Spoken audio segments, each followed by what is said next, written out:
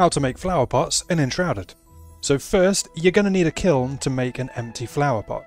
And you can see here there's a bunch of different shapes you can make, but they're all going to require one lump of clay and one wood log. Once you've made those, speak to the farmer. So you have a bunch of different shapes here depending on the kind that you crafted. All of these are going to require flower soil, which is going to take one farm soil and one honey. Then, simply choose the shape of the flower pot and the flower that you want inside it. And there you are.